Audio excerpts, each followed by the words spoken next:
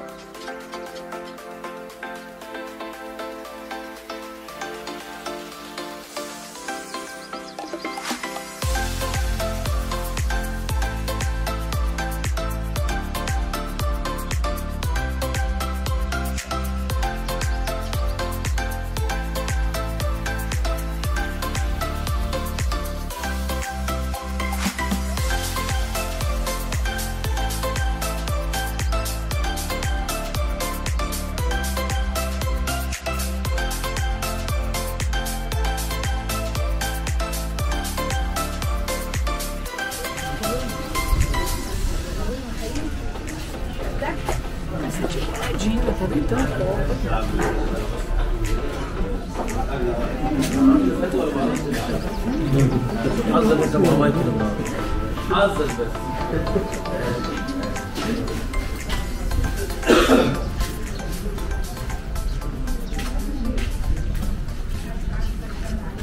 Ibu, nanti eh, mungkin hari ini ya saya akan pasang beta di bis dan ini peta Mesir, tapi ini penting sekali. Kenapa penting? Karena ini rute perjalanan. Yesus, Maria dan Yusuf pada saat mereka menyingkir ke Mesir, Bapak Ibu. Ya, jadi ini peta Mesir, ini Delta Nil, tanah yang paling subur di Mesir. Ini tanah Goshen, di mana bangsa Israel tinggal di sana selama 430 tahun. Di sini dan di sini kota yang telah dibangun oleh orang Israel yang namanya Bithom dan Ramses. Ya, Eh, ini laut uh, Mediterranean. Ini kota Alexandria, pusat kelahiran agama Kristen di Mesir. Eh, ini Laut Merah, laut yang dibelah sama Musa. Ini terusan Suez, terusan yang paling panjang di dunia. Ini Sungai Nil, sungai yang paling panjang di dunia. Ya, baik. Dulu Yesus, Maria, dan Yusuf harus menyingkir ke Mesir. Kenapa? Karena kalau kita dengar ayatnya baru kita akan memahami. Di Injil Matius pasal 2 ayat dari 13 sampai ayat ke-15. Ketika orang Majus itu berangkat, nampaklah malaikat Tuhan kepada Yusuf dalam mimpi dan berkata, Bangunlah, ambillah anak itu serta ibunya, larilah ke Mesir, karena Herodes akan mencari bayi itu untuk membunuh dia.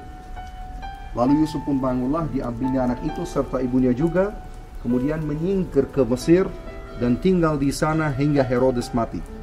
Hal itu telah terjadi supaya genaplah yang difirmankan Tuhan oleh Nabi, di mana kalimatnya yang cukup kuat dari Mesir, kupanggil anakku.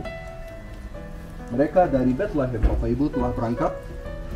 Mereka tidak ada bis yang tersedia yang per 62 kursi seperti yang kita punya, ya, yang ber AC, ya, tidak ada kendaraan yang khusus bagi mereka. Mereka naik keledai, berjalan di badang gurun yang tidak ditemui pohon di sekelilingnya. Dan jangan berpikir bahwa cuaca Mesir biasanya sama seperti ini. No, kami di sini juga kadang-kadang ada sauna gratis di Mesir. Itu bulan 6, bulan 7, bulan 8, suhunya di sini di atas 45 derajat Celcius. Ya. Eh, biasanya di sini panas dan kering. Ya. Eh, kami di sini ada empat musim. Ya, ini lagi musim dingin. Tapi ada tiga bulan di sini sangat panas Bapak Ibu. Ada musim gugur, ada musim semi, nanti saya akan bahas. Tapi intinya eh, Bapak Ibu boleh membayangkan kesulitan yang telah mereka hadapi pada saat mereka meningkir ke Mesir, berjalan di Mesir. Saya kalau jadi eh, Bunda Maria, saya akan bilang sama Tuhan, Tuhan daripada engkau bunuh anakku, engkau bunuh Herodes dulu deh. No, tapi mereka tidak berdoa dengan cara seperti itu. Pada saat mereka diminta pergi ke Mesir, pada saat problem menerbang ke kehidupan mereka, mereka bilang kepada problem apa? Bring it on. Kami tidak takut. Makanya mereka Dan ini pelajaran juga buat kita semua. Ya, apa apa pun masalah yang kita alami pasti ada ada maksudnya. Pasti ada makna Tuhan. Betul kan? Tetapi manusia tidak dapat menyelami cara pikir Allah dari awal sampai akhir. Mereka meningkat ke Mesir, mereka berjalan dari Bethlehem sampai Sinai Utara, sampai Al-Arish, Sheikh Zuhair, sampailah mereka ke Talbasta, Bilbis, sama Nud, Saka, Wadi Anatron, Mataria, Haredzuela, sampai di sini. Babylon, karena dekat sini ada benteng Babilonia. Babilonia yang ada di Kairo. Sampailah mereka di gereja ini. Jadi orang nanya, posisi kita sekarang di mana? Di sini. Ya, Bapak Ibu, di sini kita. Oke? Okay? Ya, jadi di sini ada namanya Covenant Church. Ini Covenant Church. Gua di mana mereka pernah tinggal di sini. Lalu mereka nyebrang. Mereka berjalan sampai Mesir Selatan. Lalu setelah ada kabar gembira bahwa Herodes sudah meninggal, mereka sudah balik lagi ke Nazaret. Total berjalan mereka di Mesir 2800 km. Bayangkan. Dan ini adalah salah satu tempat tinggalnya mereka. Bukan tempat satu-satunya, tapi salah satu. Di mana keluarga Kudus Nazaret tinggal di sini selama kurang lebih tiga bulan dari total tiga tahun sebelas bulan Bapak Ibu. Ini yang namanya Covenant Church atau Gereja Abu Sergar. Ya, untuk mengerti dan mengetahui kenapa dinamai gereja Covenant Church atau gereja Abu Serga, ini yang akan kita dengar di dalam gerejanya di dalam. Terima kasih.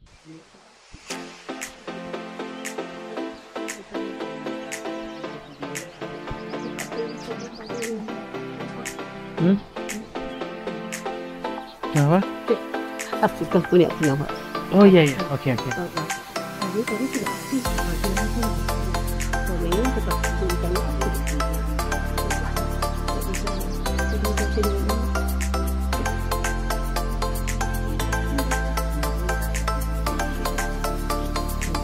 Di YouTube YouTube.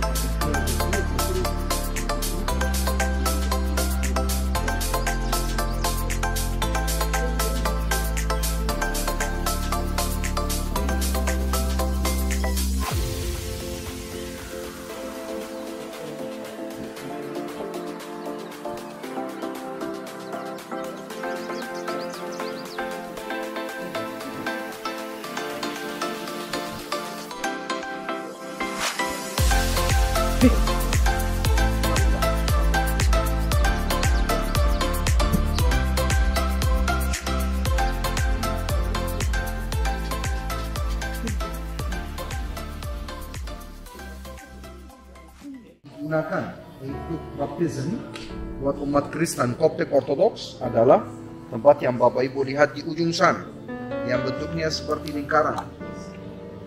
Bapak Ibu lihat, karena di sini buat umat Kristen Koptik Ortodoks mereka ada tari tradisi untuk uh, baptism untuk membaptis anaknya biasanya dibaptis pada saat masih kecil. Buat laki-laki, buat cowok, pria, usia 40 hari dibaptis disiram di dalam air. Perempuan usia 80 hari. Jadi ini tempat baptis. Kemudian, lihat di belakang Anda, ayat ada kayak dua kotak. Ini di ujung sana Bapak Ibu bisa lihat ini di dalamnya ada apa? Ada relief atau relikwi. Ya, karena mereka, mereka punya tradisi. Jadi ini ya dua kotak ini kalau Bapak Ibu pergi ke sana lagi nanti pada saat foto-foto akan lihat di dalamnya itu ada kayak relikwi atau relief. Sisa dari tulang orang-orang suci. Karena di gereja Kristen Koptek Ortodoks mereka ada santo dan santa. Ya dan mereka biasanya simpan uh, tulang mereka itu dan taruh di dalam gereja. Dan biasanya orang masuk gereja cium ini dan bila dia ada kertas atau, atau permohonan dia taruh di dalam kotak itu. Nah ini yang kedua. Yang ketiga ini dua gereja dalam satu tempat. Dua gereja dalam satu tempat. Ini gereja. Ini gereja yang pertama dan ada satu gereja di bawah nanti. Nanti bapak ibu akan masuk ke dalam turun ke bawah. Ini gereja yang kedua. Jadi begini mana yang duluan? Mana yang pertama ya. Yang pertama tentu yang di bawah. Ya jadi gua atau covenant church yang di bawah. Ya dan ini gereja yang sudah dibangun pada abad pertama. Pada saat Yesus tinggal di sini. Jadi mana tempat tinggal Yesus dan Maria dan Yusuf di dalam tempat ini? Di bawah. Nanti Bapak Ibu akan diberi kesempatan masuk ke dalam ruangan ini. Bapak Ibu dari kaca akan melihat sumur di mana Yesus Maria dan Yusuf ambil air akan diberi kesempatan juga untuk turun ke bawah ya Bapak Ibu nanti akan lihat tempat tinggalnya Yesus dan Maria dan Yusuf saat mereka menyingkir ke Mesir dan tinggal di sini selama tiga bulan dan nanti Bapak Ibu akan keluar dari sini. Ya, jadi ini Covenant Church yang di bawah. Lalu agama Kristen sudah masuk ke negeri Mesir abad pertama. Jadi Mesir sudah tahu kebenaran dan sudah tahu agama Kristen mulai abad pertama. Berarti usia gereja Kristen Koptik Ortodoks itu kurang lebih 1900 tahun. Makanya gereja Mesir merupakan dirinya salah satu gereja tertua di dunia. Ya. Dan Mesir sama seperti Yerusalem, sama seperti Bethlehem. Abad pertama dan abad pertama sebelum Masehi udah dijajah sama orang Romawi. Jadi kalau di Bethlehem ada orang Romawi, di Mesir juga ada orang Romawi abad pertama. Dan sebagaimana Anda ketahui, kaisar sama istrinya itu biasanya didewakan. Jadi pasti tidak akan memperbolehkan kalau ada keyakinan baru.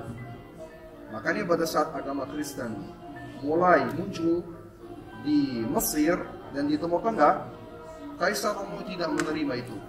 Dan orang Kristen pertama itu semuanya telah dikucingkan dan telah dihukum mati dan difunis. Dan itu sudah terjadi selama kurang lebih tiga abad. Jadi mulai abad pertama, abad kedua, abad ketiga, sampai permulaan abad keempat sesudah Masehi. Pada tahun 305, ada seorang kaisar yang hebat, namanya Kaisar Konstantinus Agung. Dengan mamanya yang begitu hebat, yang namanya Ratu Helena. Ya, Kaisar Konstantinus Agung kita nggak bisa bilang bahwa dia orang Kristen. Dia dibaptis pada saat dia mau meninggal dunia. Ya. Tapi kelebihannya apa? Dia sudah berkata kepada semua orang yang ada di Mesir dan di Timur Tengah bebas untuk pilih keyakinan. Tahun 313 sesudah Masehi, agama Kristen telah diresmikan di Mesir dan di seluruh Timur Tengah. Tapi sebelumnya, kalau ada orang misalkan mulai abad pertama, kedua, ketiga, menerima Kristus, terus keadaannya gimana? kalau udah dicari, udah ketemu, pasti akan dikucilkan dan dihukum mati. Dan dan Simon itu dia telah diberi kekuatan dari Tuhan untuk memindahkan gunung. Makanya ini gambar doa umat Kristen dan gunung yang sudah naik dan turun dan digeser sejauh 3 km dari semut sementara ini Bapak Ibu pasti tidak bisa memahami lengkap. Nanti kita di dalam gereja akan dengar ceritanya komplit ya Bapak Ibu. Mari kita foto di sini rame-rame karena jarang tempat ini kosong. Silakan. Ya, kesempatan. Tapi tolong Bagian kiri ini di badi dan gambar Bunda Maria dari masa kecil sampai dia telah naik ke surga. Ada altar khusus di gereja ini buat eh, Bunda Maria. Ya, makanya gereja ini namanya gereja Virgin Mary. Selain nama gereja gantung. Dan bahasa Inggrisnya eh, Hanging Church. Ya, bahasa Arabnya Al Muallaqat. Ini salah satu gereja tertua di Mesir. Sejarahnya persis dengan gereja yang tadi. Sudah dibangun mulai abad ke-4 sesudah Masehi dan masih dipakai sampai sekarang. Tapi kelebihannya gereja ini dengan gereja yang tadi, ini dulu tempat kepausan, pusat tempat tempat tinggal para paus selama kurang lebih lima abad. Mulai abad ke-9 sampai abad ke-14 sesudah Masehi. Para paus dulu tinggal di gereja ini. Kemudian gereja ini kita lihat ada banyak relikui. Ini relikui yang saya bahas tadi. Relief sisa dari tulang orang-orang suci. Di dalamnya ada banyak kertas dan permohonan. Ini doa umat Kristen. Ini kita lihat mereka cium, mereka pasang lilin. Banyak ikon di sini, 110 ikon. Eh, ikon di sini yang tertua mulai abad keempat, yang terbaru dari abad ke-8 sesudah Masehi. Ada tiga, empat ikon di sini yang istimewa menurut saya. Yang pertama adalah ikon Santo Markus yang pakai baju merah yang membawa gambar Kristen ke Mesir. Yang kedua adalah gambar Bunda Maria eh, yang di ujung sana itu Bapak Ibu. Eh, yang di sekeliling ada dua malaikat Gabriel dan Michael. Ini dikenal dengan nama gambar Bunda Maria Mona Lisa Mesir. Kenapa? Karena bila Bapak Ibu dekat sana, Bapak Ibu dari mana-mana berdiri, Bunda Maria melihat kepada Anda, lihat ke Anda, yang di sana itu. Eh, ya, ini yang di sana. Oke, terus eh, gambar juga yang ketiga di sini adalah gambar eh, cerita kehidupan Bunda Maria. Lalu gambar yang keempat yang berkaitan juga dengan gereja ini adalah gambar ini. Di mana malaikat Tuhan melalui Bunda Maria telah menampakkan dirinya kepada Uskup Abraham yang berjenggot itu dan suruh dia pergi ke pasar karena di pasar dia akan berjumpa dengan Simon yang akan memindahkan bumi. Jadi kelebihan gereja ini apa juga? Ini tempat doanya umat Kristen. Tempat di mana mereka berpuasa. Tempat di mana mereka berserah kepada Tuhan supaya Tuhan buka jalan dan mereka dibebaskan dan diselamatkan. Karena bila gunung ini tidak geser atau tidak pindah, orang Kristen akan habis di Mesir. Ya, Eh, terus atapnya sama seperti gereja yang tadi, seperti bahtera, terbuat dari kayu.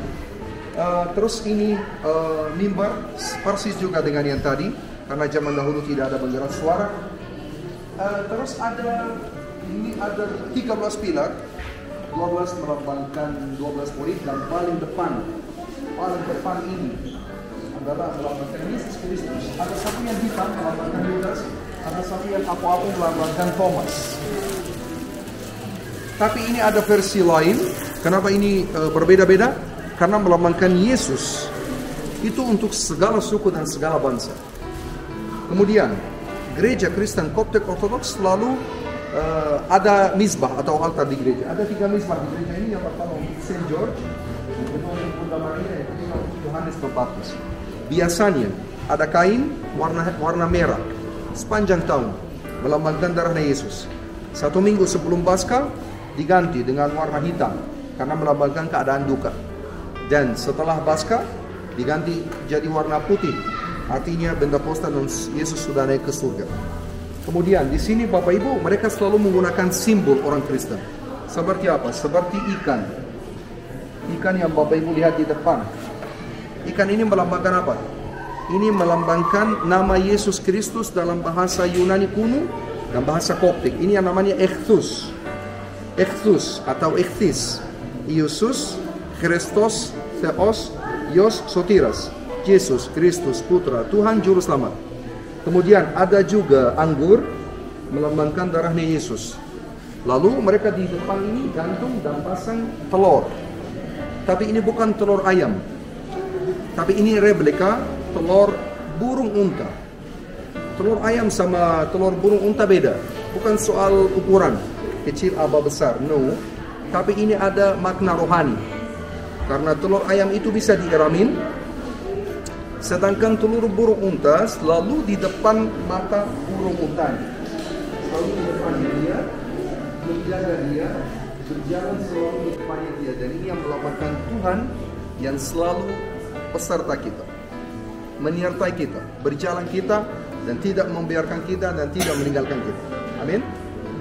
Lalu yang terakhir, nanti kita akan diberi kesempatan masuk ke dalam ruangan ini dan akan kita lihat dari atas gimana gereja ini tidak ada fondasinya dan gimana gereja ini dibangun karena ini gereja satu-satunya mungkin di Mesir dan seluruh dunia yang desainnya tergantung ya atau hanging church ya. Jadi dibangun di atas bekas atapnya benteng Romawi yang orang Arab pada saat mereka ke sini mereka bilang ini persis dengan Babelonia makanya mereka menamainya benteng Babelonia Mesir gitu loh.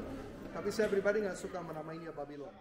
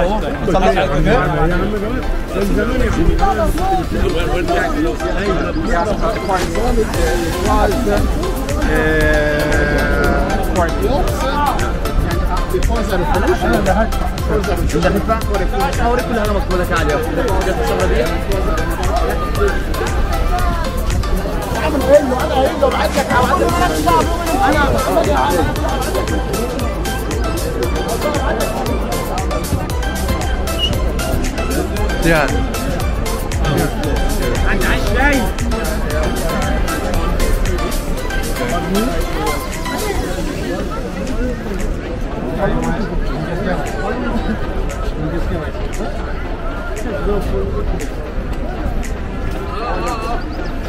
Thank you.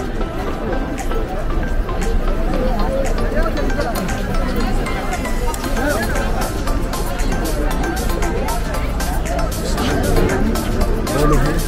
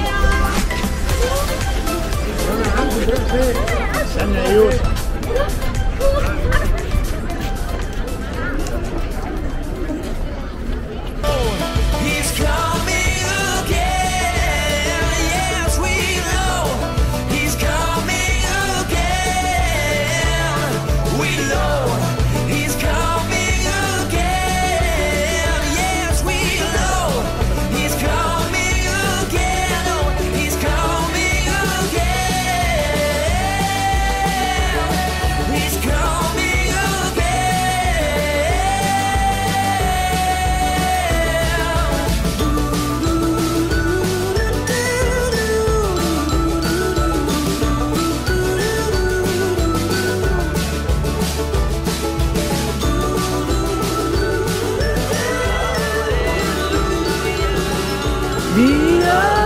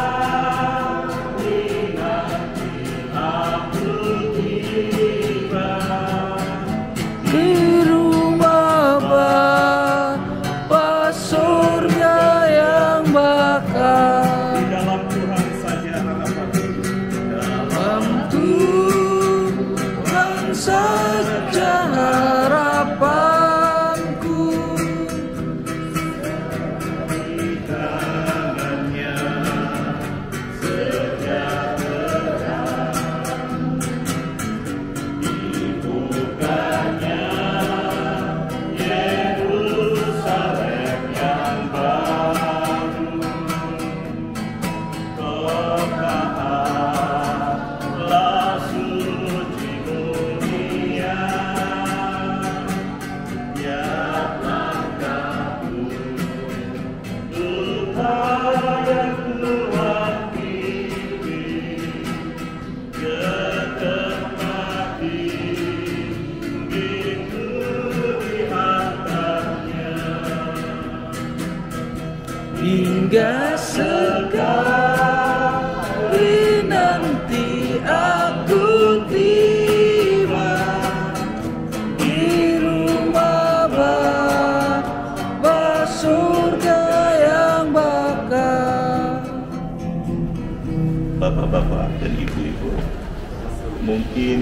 Antara bapak ibu melihat tempat ini hanya melalui media-media sosial.